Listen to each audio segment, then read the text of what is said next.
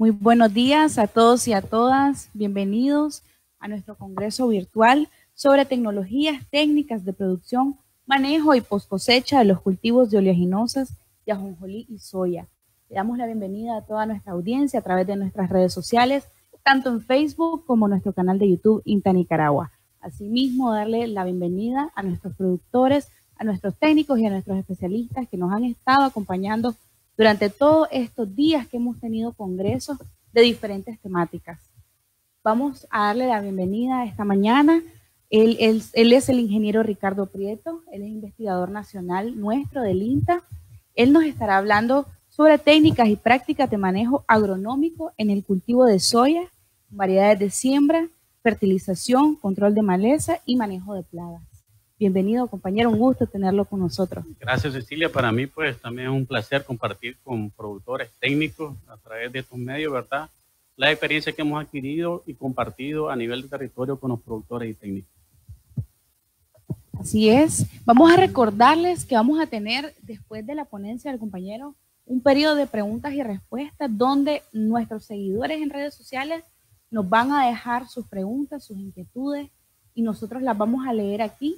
De igual manera vamos a estar eh, abriendo el audio para todas las personas que nos están acompañando en, los más de 30 telecentros que tenemos alrededor del país y eh, vamos a, tener una interacción con ellos después de su ponencia, compañeros. Así que los dejamos con él y eh, esperamos que ustedes puedan sacarle mucho provecho a esta mañana. Gracias nuevamente Cecilia y bien, nuevamente buenos días, ¿verdad? Espero que al final de la ponencia, pues como dice Cecilia, podamos interactuar, ¿verdad?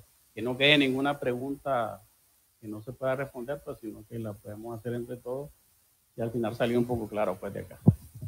Eh, básicamente, la soya pues para los nicaragüenses es un cultivo conocido. Eh, existe evidencia que a partir de 1986 se introdujo en Nicaragua, eh, precisamente porque en ese año pues colapsó el cultivo del algodón. Entonces la soya nace como una alternativa para aquellos productores que se dedicaban al algodón.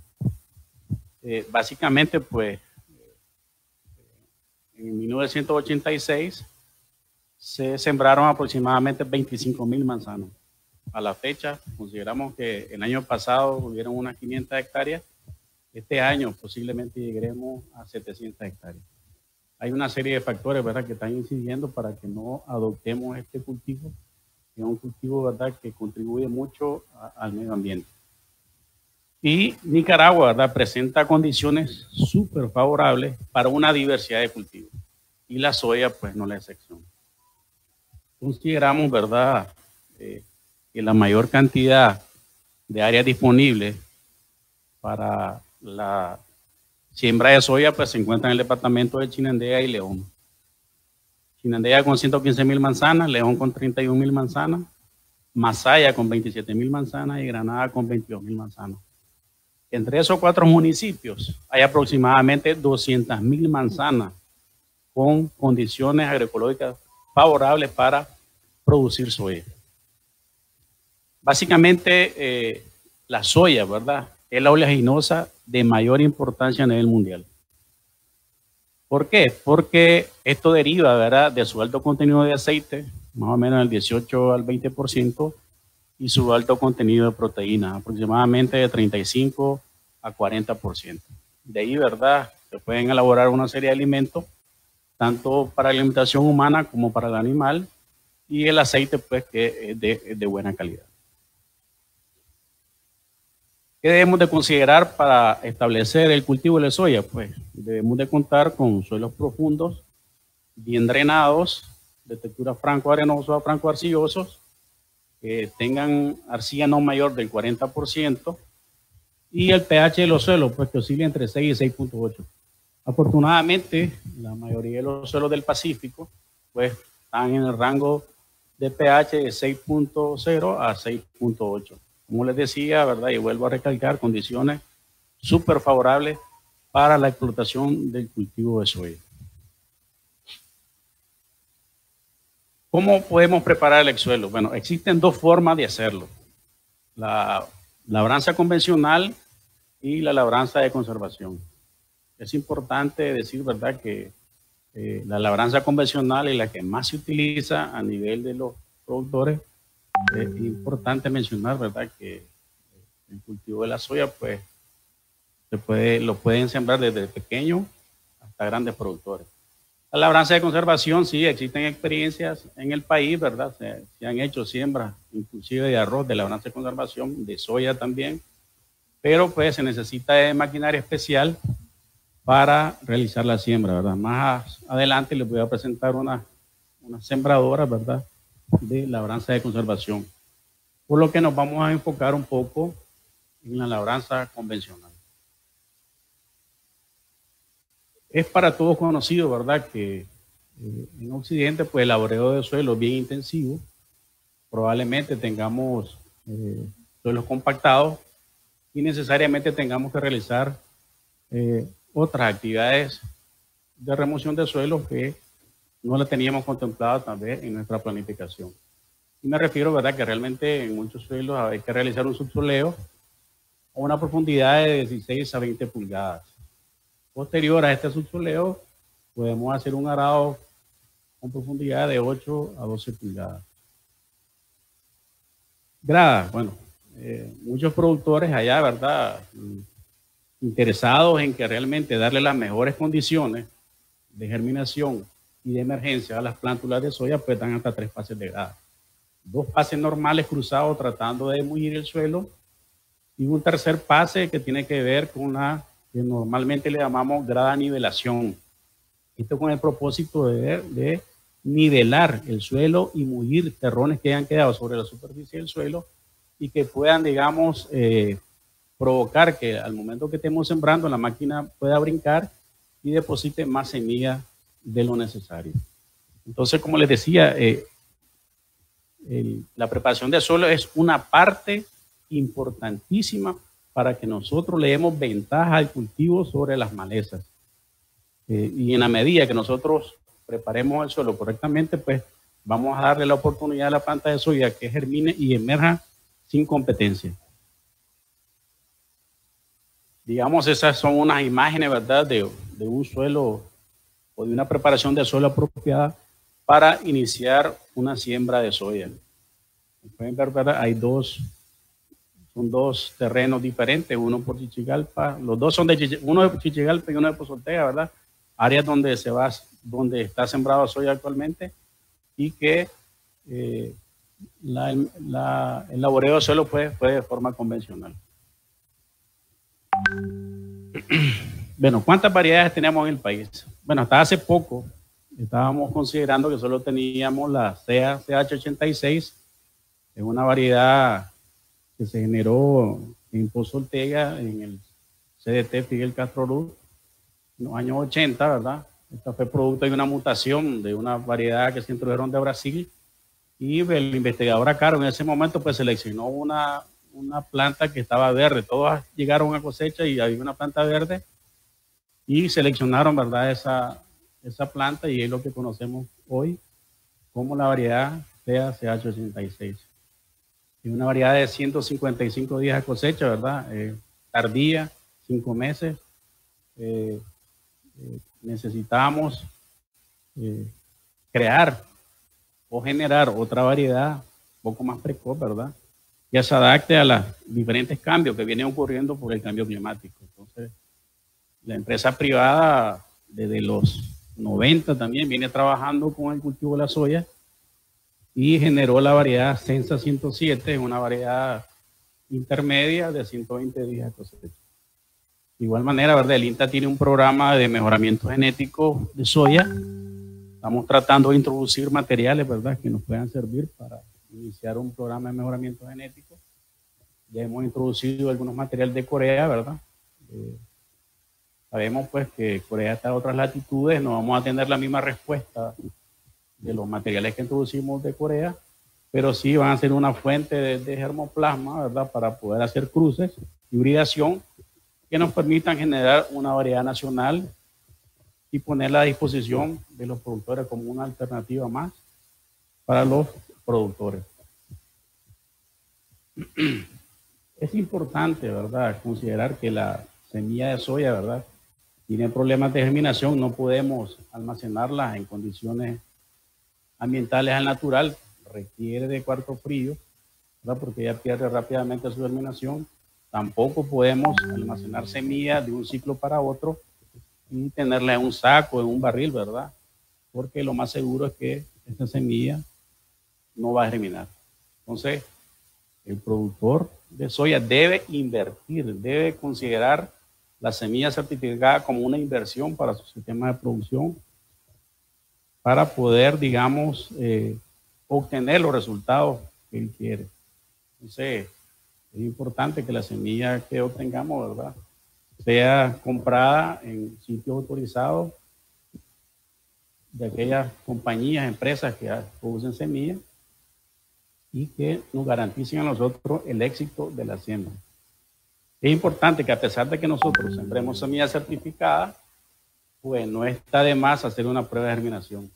Independientemente, ¿verdad? Que la etiqueta que extiende el ICSA diga que viene arriba del 80% de germinación, pues no está de más hacer una prueba de germinación para verificar los datos existentes en la etiqueta. Es importante también, ¿verdad? También que conozcan que la, la soya pues, es capaz de fijar el nitrógeno del aire y producir su propio alimento. Entonces se utilizan eh, bacterias fijadoras de nitrógeno, ¿verdad? Allá en la región 2 pues, hay empresas que comercializan esta, estos risodium o Rhizodium. Todavía pues, no tenemos cepas específicas de Rhizodium, pero sí Rhizodium que se utilizan en frijol, pues que también se están utilizando en soya que dan buenos resultados. Pues al final pues hay, uh, hay nodulación y fijación de nitrógeno atmosférico. Hay condiciones especiales, digamos, para, para poder aplicar este Rhizodium a las semillas de, de soya. Ahí tiene un ejemplo, ¿verdad? Eh, eso fue como el 15, 16 de julio, esa fotografía, una siembra de soya que se realizó en Chichigalpa. Los productores haciendo la inoculación en la sombra, en una carpa. Hay que evitar que los rayos solares eh, penetren directamente a la, al rizodio porque si nos mata pues las bacterias que se van a inocular a la semilla. Es importante también mencionar de que la inoculación se debe hacer gradual. No podemos preparar toda la semilla de una vez, sino que en la medida que estamos utilizando la semilla, pues vamos inoculando para que la inoculación sea más efectiva. Ahí está la forma de prepararlo, ¿verdad? Existen un sinnúmero de formas de hacerlo. Unos utilizan aceite de cocinar, unos utilizan leche en polvo, unos utilizan simplemente agua, ¿verdad? Es dependiendo de las condiciones que tengamos y donde nos encontremos, que vamos a utilizar los diferentes materiales. Y la idea es, ¿verdad?, que estas bacterias colonicen las raíces de las plantas y pues se dé la fijación de nitrógeno atmosférico. Las oleaginosas, pues en su mayoría son capaces de fijar el aire atmosférico, el nitrógeno atmosférico, y puede andar alrededor de entre 80 a 100 kilogramos por hectárea. Esa es una de las ventajas que tiene de sembrar cultivo oleaginoso, ¿verdad? Ellas, ellas, mismas producen su alimento. Métodos de siembra. Bueno, los métodos de siembra pueden ser siembra directa, siembra mecanizada, hay una gran diversidad. Generalmente la soya, ¿verdad? Eh, no se siembra manualmente, porque generalmente son áreas bastante grandes y se utilizan una serie de sembradoras, ¿verdad? De precisión, como la Monocen, la Baldán, la que ven ahí en pantalla, ¿verdad? Es una sembradora Baldán. Es una sembradora que siembra y fertiliza a la vez. Digamos que eso nos da una, una ventaja, ¿verdad? Porque hay sembradoras que solo siembran, valga la redundancia. Y sin embargo, esta, esta, esas sembradoras que solo siembran nos obligan a fertilizar al voleo, de manera que, ¿verdad?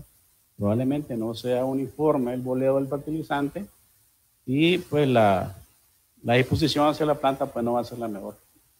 Sin embargo, esta de tipo Baldán pues fertiliza y siembra y a la vez, pero la fertilización es en banda, o sea, dejamos el fertilizante más cerca de la raíz de la planta para que puedan absorber los nutrientes del suelo. Como les decía al principio, ¿verdad? También hay sembradoras de siembra directa. Eh, estas se utilizan en aquellos lugares donde pues podemos nosotros, si tenemos sorgo, maíz, pues chapudamos el sorgo, queda como mulch y podemos sembrar sobre eh, la hilera donde estaba el maíz y el sorgo. Lo, lo, que hacemos es que revivimos el surco y utilizamos esta máquina vence todo. Generalmente estas son traídas de Brasil también, ¿verdad? En Brasil utilizan mucho esta vence todo. También tiene una ventaja de que siembra y fertiliza.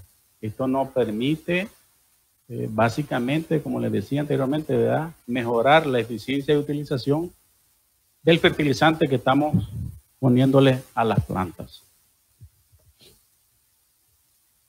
Ahí, ¿verdad? Les muestro también una sembradora manual, eh, una sembradora de precisión manual introducida de Corea, ¿verdad? Tuvimos una primera experiencia con esta sembradora eh, capaz de sembrar una manzana hasta dos manzanas al día. Eh, les voy a enseñar unas imágenes porque realmente son muy interesantes. Yo creo que en Nicaragua existen artesanos, ¿verdad? Innovadores que pueden, digamos, inclusive hacerle alguna mejora a esa máquina y poner a la disposición de los productores nuevas alternativas de siembra al final, ¿verdad? Este creo que uno de los talones de Aquiles que tenemos es que en el campo, cuando comienzan las labores de siembra, pues es difícil encontrar una sembradora que esté disponible en el momento que nosotros ya estemos listos para sembrar. Entonces, eh, la, otra sembradora, ¿verdad? Es una sembradora que utilizamos mucho, bastante, diría yo, en las regiones, eh, solo siembra. Y entonces, como les decía, necesitamos fertilizar al boleo con el último prazo de grada para incorporar el fertilizante pues, y, no no lo perdamos por lixiviación. Lógicamente, pues no es, no es lo mejor, pero eh, eso es de lo que disponemos en la zona. Ese es un, es la sembradora manual, como les decía, ¿verdad? Introducida de Corea, empujada por un compañero productor.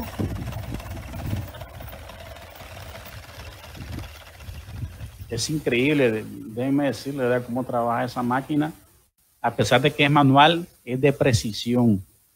Les voy a mostrar unas imágenes, ¿verdad? Que, que obtuvimos allá, pues ese día nosotros estuvimos presentes en esa siembra. Y miren las imágenes, ¿verdad? Ahí estamos acompañados del doctor Par, director de Centrocopia.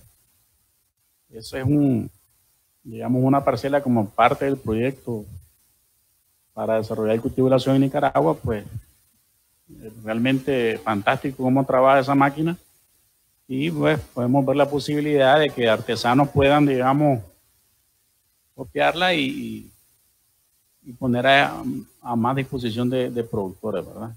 Muy, interesante realmente esa siembra con, con, esa maquinita. Bueno, tiene la desventaja que no fertiliza, pues como les decía anteriormente, un productor innovador pudiera tener alguna idea para poder incorporar el fertilizante y que la, la siembra pues sea de mejor calidad.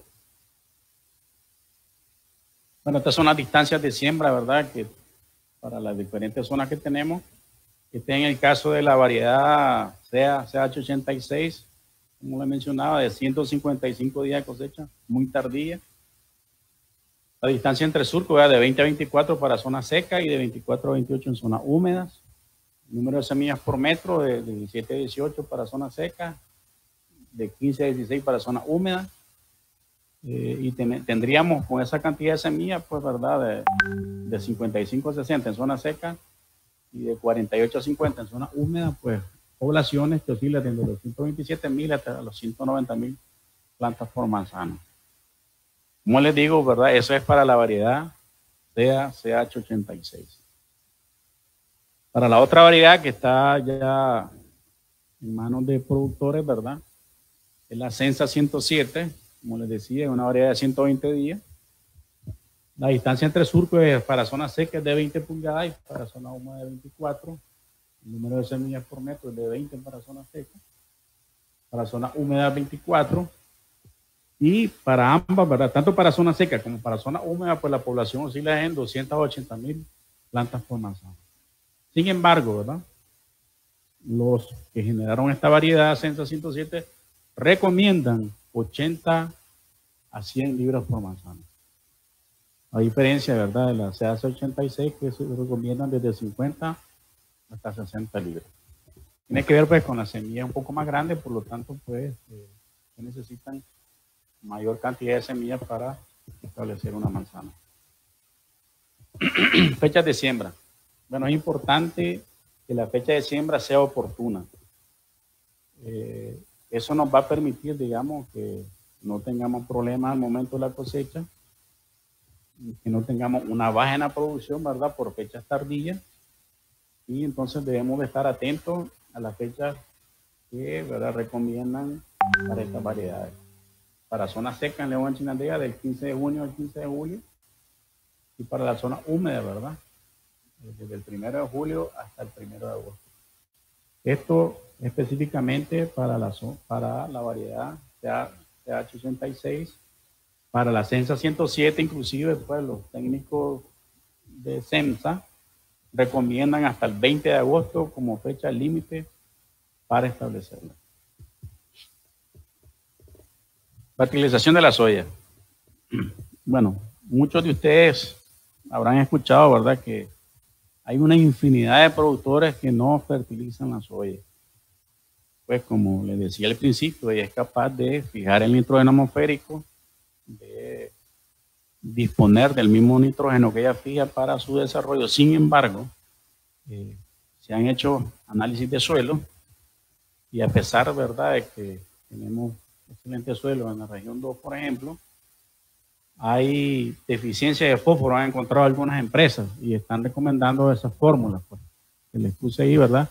Esa es una fórmula de un productor de soya que realizó análisis edafológico o análisis de suelo.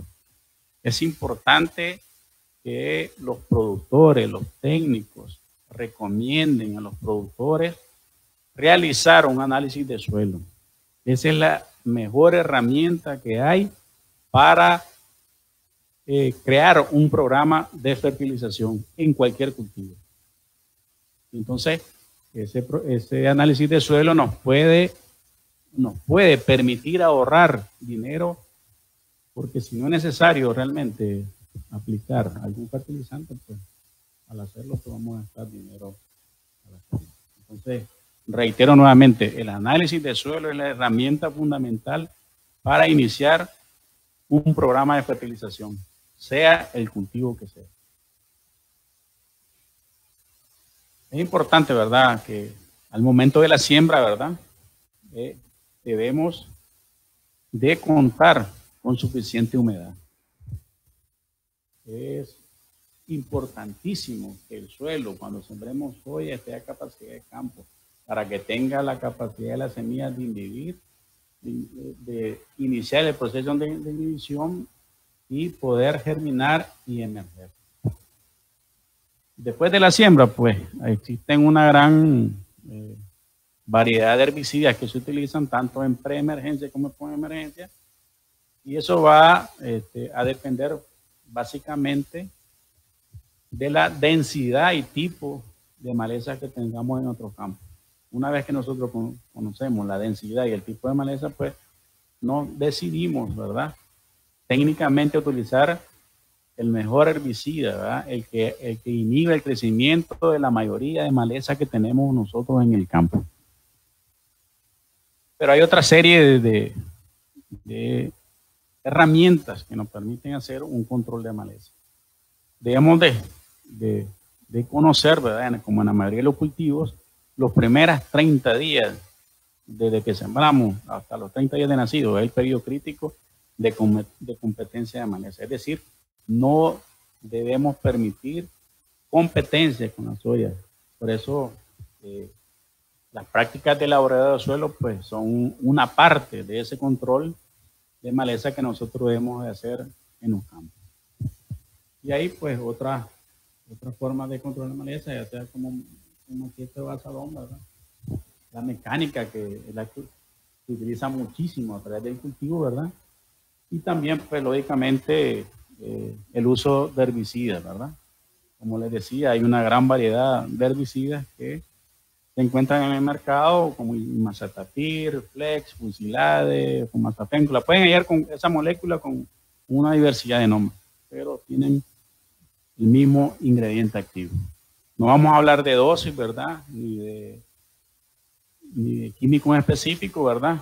Eh, como les decía, ¿verdad? No vamos a hacerle propaganda a ninguna casa comercial, a ningún producto en específico. Pero realmente los químicos pues representan una alternativa y dicho sea de paso, eh, esta pudiéramos considerarla como la última, ¿verdad? Alternativa al momento de realizar control de malezas. Una vez que nosotros eh, sembramos, ¿verdad? Y tenemos un suelo, ¿verdad? Libre de maleza, pues viene la parte donde hay que hacer un primer cultivo como parte del control de maleza y este tiene dos objetivos controlar maleza y mejorar la reacción del suelo. Si ustedes, los técnicos, productores, ¿verdad?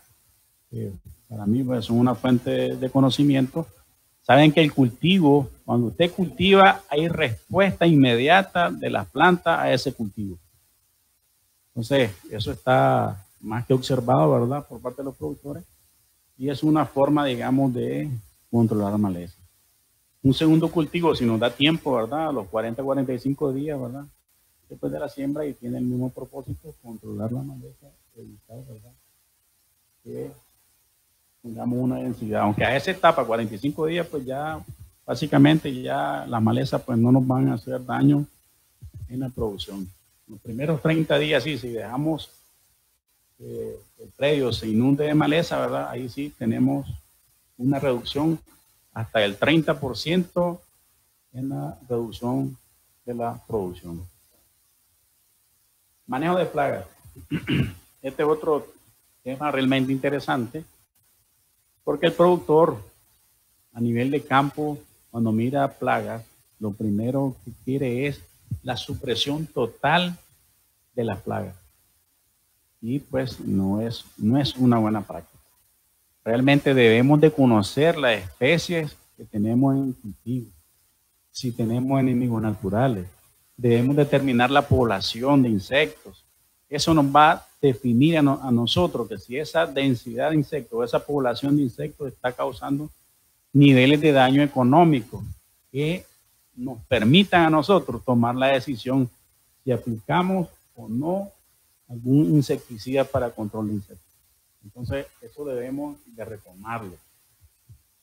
¿Qué insectos tenemos? ¿Cuántos insectos tenemos? Si hay benéfico o no hay benéfico. ¿Me está causando daño o no el insecto?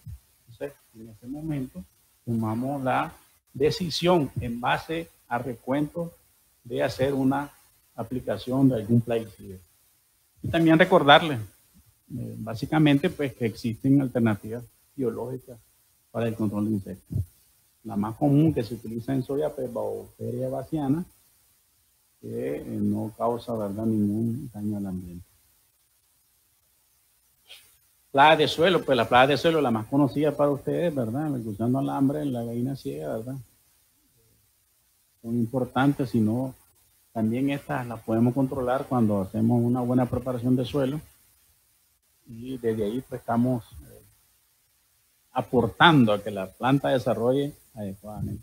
Como les decía, ¿verdad? Todo es, todas las actividades son importantes, ninguna es mejor que la otra o ninguna aporta más que la otra, todas son súper importantes.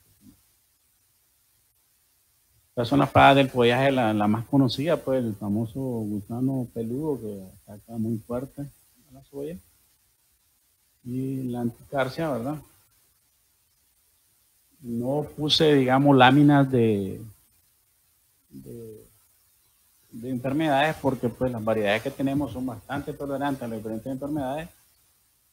Eh, no, no, no, significa que no tengamos que no hay una planta, dos plantas, qué sé yo, ¿verdad? Que esté infestada por cercóspora, por virus, por alguna roya, ¿verdad? Estas son las dos principales plagas de la vaina, Sara viridula y el chinche café, que es conocido por todos ustedes. Estos nos pueden ocasionar pues, daño al momento que haya formación de vainas. Momento para iniciar la cosecha. Este es algo súper importantísimo. Hay varios índices de cosecha que debemos de tomar en cuenta al momento de tomar la decisión de cosechar. Una puede ser el ciclo de la variedad, si estamos utilizando tensa, pues 120 días, o, chema a los 155 días.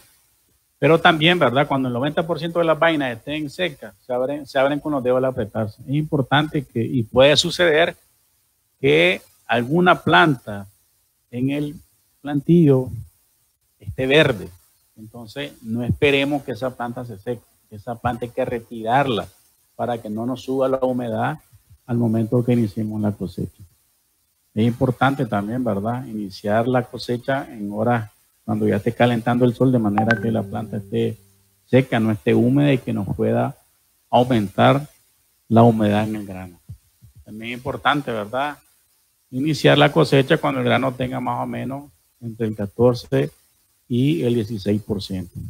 Esta humedad va a ser importante cuando nosotros tengamos lotes muy grandes.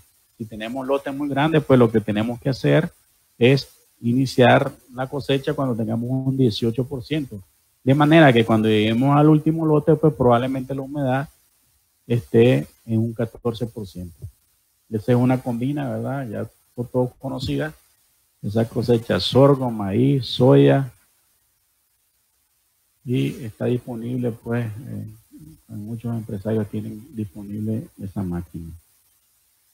Bueno, eso era básicamente lo que quería compartir con ustedes, ¿verdad? Espero que les haya servido, haya aportado para el, desarrollo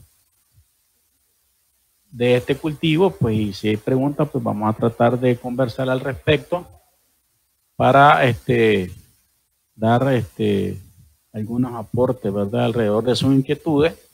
Como les decía, ¿verdad? Este, nosotros en INTA, a través de, la cooperación coreana, estamos eh, tratando de establecer un programa de mejoramiento genético, introduciendo variedades. Hemos introducido eh, ocho variedades de Corea, ¿verdad? Que nos van a servir, digamos, para hacer hibridación con las variedades nacionales. En este caso, la, la CA 86 y ir buscando, ¿verdad?, eh, otras alternativas tecnológicas referidas a variedades que estén a disposición de los productores. Bueno, básicamente, eh, CA 86 a pesar de que 155 días, pues es una variedad que es bien productora, pues, pero tiene el inconveniente de que, pues, es muy tardía y necesitamos ir ofreciéndole a los productores variedades que tengan ciclos desde intermedio a precoces, pues, ¿verdad? De manera que podamos hacerle frente al cambio climático. Bueno, si tienen alguna pregunta, pues con mucho gusto vamos a